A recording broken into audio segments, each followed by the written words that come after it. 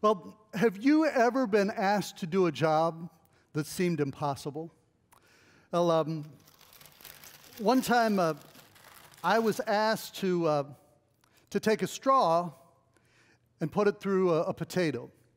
I tried and tried and was, was unsuccessful, and finally they gave me some instruction that I should put my finger on the end of the straw and jab it in.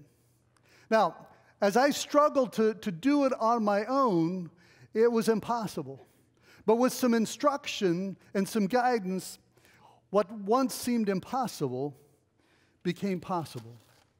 Our scripture reading today is found in, in John chapter 15.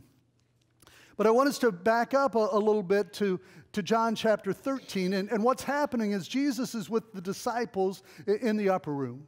He's uh, having the Last Supper with them. It's the, the time for him to give final instructions to, to the disciples. And, and as he, you know, it's uh, just a few hours, he's going to be arrested. And, and within 24 hours, he's, he's going to be crucified. And as he's with them in, in the upper room, he washes their feet. And he says, Now that I've washed your feet, you should wash one another's feet. You, you should be servants of one another. He also tell, told them, He said, I give you a, a new commandment, and that is that, that you should, should love one another as, as I have loved you. Love should be the distinguishing mark of those who follow Jesus. Now, when Jesus gave them those instructions, it, they may have been difficult enough in that moment. But in less than 24 hours, Jesus would, would be crucified and, and the, the disciples would be confused. And, and you know, how is it that they should be about serving? How is it that they could, could possibly love, particularly those who had done the, these horrible acts to, to Jesus? When, when they heard those instructions, it must have seemed impossible. They, they couldn't do it. You know, how could they show love to someone who was so angry and spiteful and, and tried to, the, who might try to harm them as they, as they harm Jesus? How could they show love to someone with whom they agree, disagree? And Jesus said that love should be the distinguishing mark of his followers. In chapter 15, Jesus gives them some instructions on, on how to accomplish what he's told them to do that they may seem uh, to, to be impossible or, or very difficult.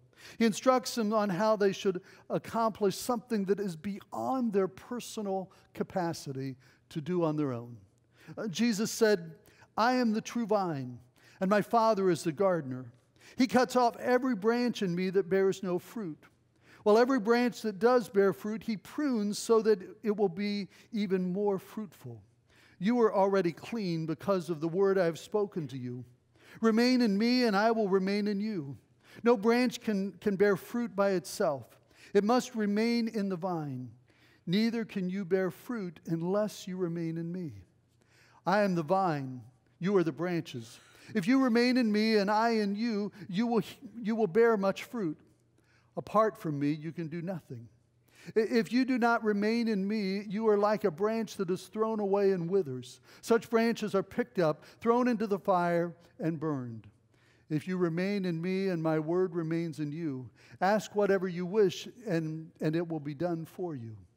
This is to my Father's glory, that you bear much fruit, showing yourselves to be my disciples. Jesus said that God the Father was the gardener Jesus is the true vine, and those who follow him are the branches. Now, the first thing that I want you to recognize is how important it is for the branch to stay connected to the vine. Now, this morning, I went out to the, the neighbor's apple tree and cut off a branch. Now, I did it with the neighbor's permission, so it, it's all right.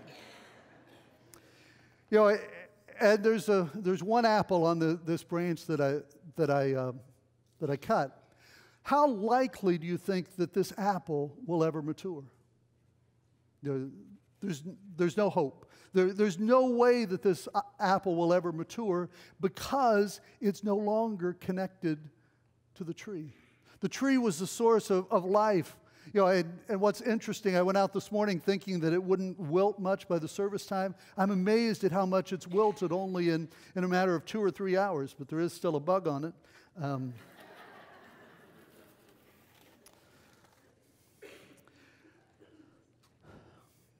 you know, Jesus tells his disciples, and that, that truth has been passed to us generation after generation through, uh, through his, his word, that a branch, you know, that, that we must stay connected uh, to, to the vine. As a branch, we need to stay connected to the vine. As a branch, we need to stay connected to Jesus. You know, Jesus goes on to, to say that that we cannot live as He's called us to live. We cannot bear f- spiritual fruit in our lives if we don't stay connected to Him. Jesus told His disciples that He was going to send the Holy Spirit. He said, The Holy Spirit will help to remind you of the things that I've taught you. The Holy Spirit will give you guidance. For, for us, the Holy Spirit helps us to, to understand God's truth and, and applying it in, in our lives uh, the Holy Spirit helps us to, to give direction in our lives. We stay connected with the, with the vine. We stay connected with Jesus by, by reading His Word and, and studying it, by, by meditating upon it, reflecting upon it, uh, by, by praying, by also listening and, and meditating you know, as the Holy Spirit speaks to us in, in those, those times of, of silence. We stay connected to, to, to Jesus you know, as as we do spiritual disciplines. In James chapter 4, verse 8, we're told to draw near to God, and God will draw near to you. Well, I just mentioned some of the ways that we can draw near to, to God in, in terms of, you know, studying His Word, meditating upon it, praying, uh, spiritual disciplines. But I believe anytime we do something with intentionality, with a desire of drawing near to God, what happens is as we seek to draw near to God, God draws near, near to us. In verse 4, Jesus said that if we remain in him, and some versions say that if we abide in him, uh, both, both remaining and, and, abiding can kind of communicate the, the same idea of, uh, of being, being with. But, but I think that that idea of abiding implies more of a relationship and, and more of an more of a connection. It's not just a, a physical presence, but, but there's a, a, connection as, as we are, are abiding with, with Jesus. Jesus is saying that we should remain connected to Him, abide with Him, and as we do, we will produce spiritual fruit. Now, the spiritual fruit that Jesus is referring to in, in this passage, um, Paul gives us a little more description about what spiritual fruit is in uh, Galatians chapter 5 when Paul wrote, writes that the fruit of the Spirit is love, joy, peace, patience. Uh, love, joy, peace, patience, kindness, goodness, faithfulness, gentleness, and self control.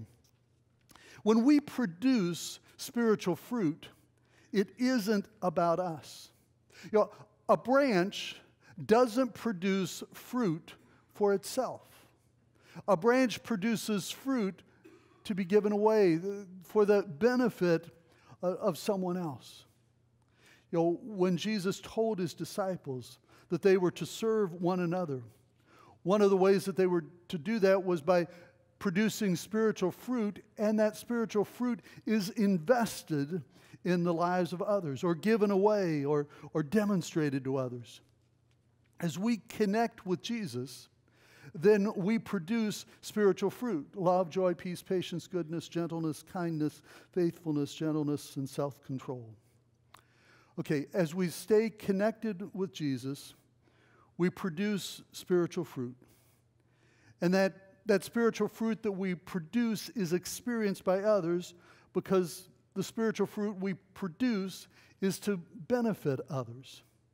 Uh, verse 2 makes a reference to, to a branch that is, is being cut off or, and, and branches being pruned. Now, Marianne talked to you earlier in the service, I think, or you saw a video that she talked about the importance of cutting back a, a plant, pruning a, a, plant, and, and how it, when you first prune it, it may look shaggy, it may look bad, but, but what happens is it, it causes it to produce more flowers or, or to produce more fruit. You know, one of the things I remember when uh, the first time I, I went to, uh, to Disney World in, in Orlando, I remember all the shrubs that were, um, were growing in the shape of Disney characters. And you know, I'm sure it was no easy task to get those shrubs to, to look like that. But, but first of all, those shrubs, I'm sure, had to be hardy and, and healthy.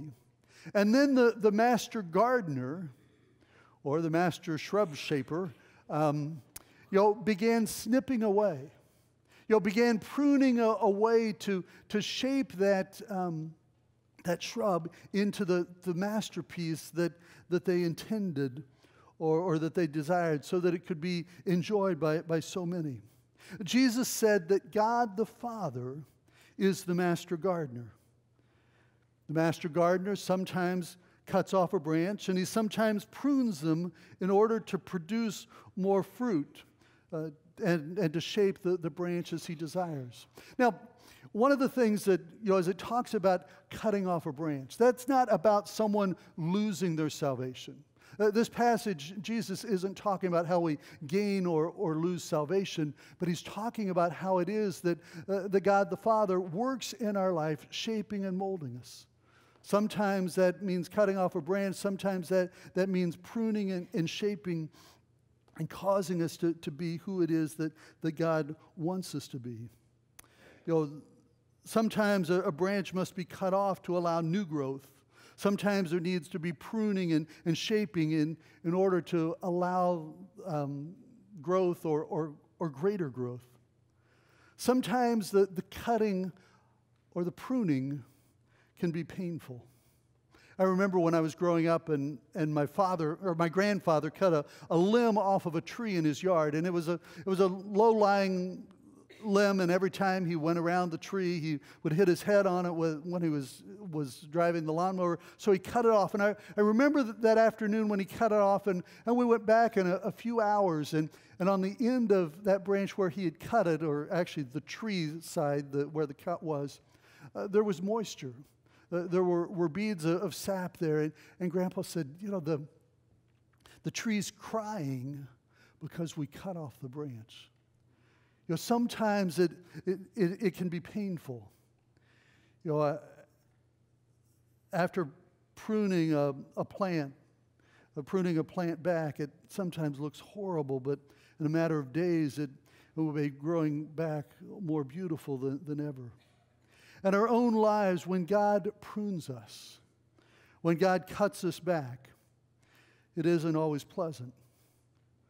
Sometimes the pruning comes in a, in a season where we feel isolated and alone.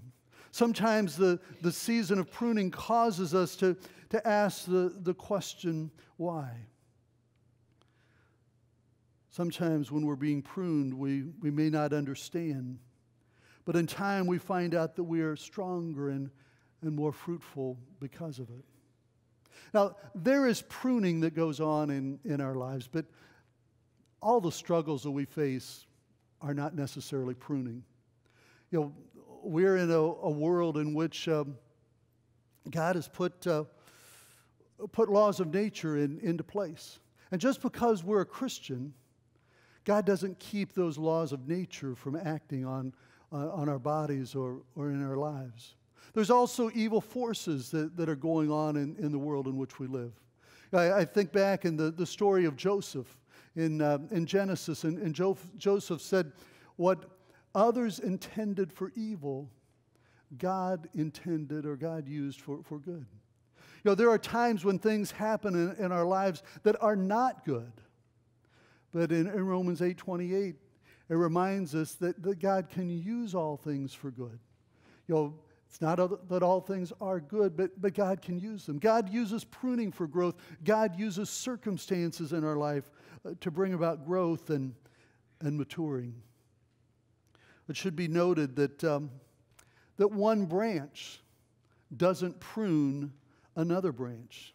It's not our job to prune one another. Now, there, are, there is a passage in Scripture that talks about iron sharpening iron, for, that we should, uh, should encourage and, and sharpen one another in that way. But it's not our job to, to prune other people, it's God's job to, to prune and, and, and shape. Do you know the, the best way to have your prayers answered? You know, in verse 7, Jesus said, Abide or, or in, in verse 7, Jesus says that when we stay connected with Him, His Word remains in us. And, and to say it another way, when we stay connected with Jesus, then He shapes our, our desires. And, and when we are connected to Jesus and, and praying within His will, you know, it's an issue that, that our prayers are answered as we, we pray in, in accordance with, with God's heart and, and God's will know, there are three things that I want you to, to remember or take away this morning from this passage. First of all, is the idea of abiding, of bearing fruit, and of pruning. You know, these three things don't happen in a, in a linear fashion, but rather I, I think they happen more in a, in a circular fashion. And um, sometimes they happen one way, sometimes they, they happen another way. You know, the, the, the abiding can, can bring about uh, bearing fruit. You know, sometimes the, the pruning can, can bring about uh, bearing fruit. You know, it's also an issue that this abiding, bearing fruit, and pruning isn't something that, that we experience one time in life and, and it's over. But it's a, it's a cycle uh, that continues the, the, the God's work, working. We, we abide, we stay connected to, to Jesus. You know, and as we do that, we bear fruit. And in that process, God the Father uh, prunes us in order that we might become more fruitful. You know, God the Father is the one who decides how the pruning will be done. But we have some control over whether we, we choose to, uh, to abide, which, which brings about bearing fruit. And so this coming week, I want to encourage you to, to do something intentional to to strengthen your abiding in Christ. Some of you already faithfully have a daily quiet time, and, and that's great. Continue to do that. But maybe some need to start doing that, spending some time reading God's Word daily or reading some sort of a devotional. You know, in two weeks, we're, we're going to start reading that devotional to, together about, about prayer in, in that Draw the Circle book. You know, those might be goals of some things that you could intentionally do to, to increase your abiding with Christ that you in turn might, might grow in, in your spiritual fruit. Another step you could take is to, to intentionally take steps to, to, to bear spiritual fruit. You know, maybe the Holy Spirit has been prompting you that you need to be more loving to, to someone that you encounter or, or someone at work. Maybe, it, maybe it's an issue that, that um, you need to show show more kindness or, or demonstrate more patience. There, there may be things that the Holy Spirit is, is prompting in you and, and telling you to do that you've been resisting. You, have been re- resisting, you know, producing that fruit, and so uh, you, in resisting producing that fruit, you've been resisting who it is that, that God is calling you or desiring you to be. Jesus exhorts us to remain connected to Him. And when we do, he promises that he will stay connected to us. None of us can bear spiritual fruit without being connected to Jesus. And we bloom together by staying connected to him. Let us pray. Lord, I pray that you would help each of us to, to stay connected to you. Stay connected to you in, in order that we might might produce spiritual fruit, that we might produce spiritual fruit as you've called your, your disciples, as you've called your followers to do. Lord, for someone who may be going through a difficult season of, of pruning, I pray that you would come near to them today and, and give them encouragement. Lord, for someone who, who needs a, a fresh ray of hope, I pray that your spirit would come near to them and as they draw near to you and may they just have an overwhelming sense that you're walking with them and that you will never leave them nor, nor forsake them. Lord, I pray that as we draw near to you, that we would also just have an overwhelming sense of you drawing near to us. For it's in Christ's name that we pray. Amen.